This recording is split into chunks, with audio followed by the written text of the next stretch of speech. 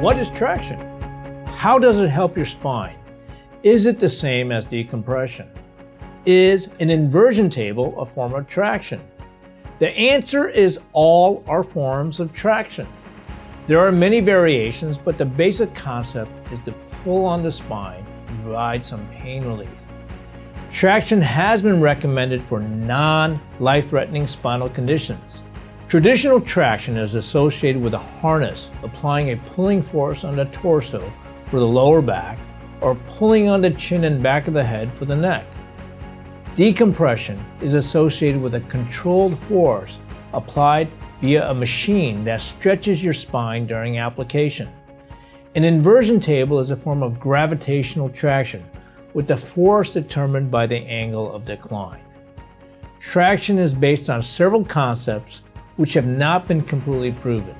Number one, injured muscles that contract and spasm can be slowly stretched out to length, loosening the muscles and reducing spasms.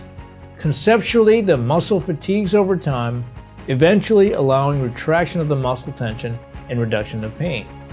Number two, the discs are pulled apart, stretching the annular fibers and producing a negative pressure in the disc, causing disc bulges and herniations to go back into the center part of the disc. Number three, shortened ligaments cause increased pressure on the nerves.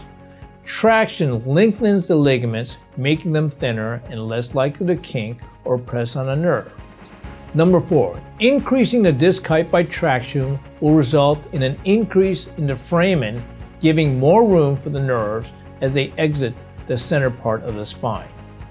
While these concepts make sense, it's been hard to prove these changes actually happen during traction. While recommended by more than 70% of chiropractors, there's a wide variation in how the forces are applied to the spine, how much force is applied to the spine, and how long the force is applied.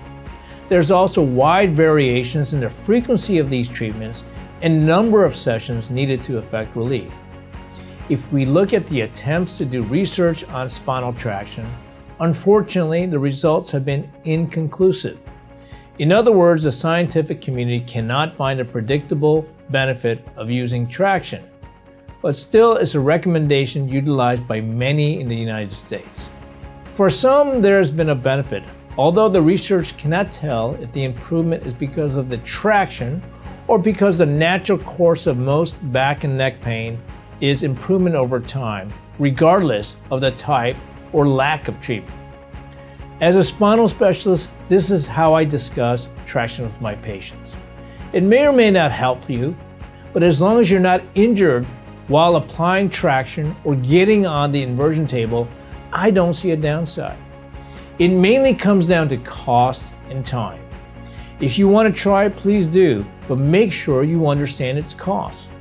Some forms of tractions are low cost. Other forms, including the decompression table treatments, can be very expensive as the technology and regulation costs to produce these tables are significant. Like all my recommendations, as long as there are no risks and the patients understand the financial responsibility associated with the treatment, I leave it to the patient. At the same time, I must counsel that it may not provide any benefit, but certainly can be a monetary stress if you choose one of the more expensive options. Thank you for watching. If you'd like more information about similar topics, please subscribe to our newsletter or to our YouTube channel. Thank you.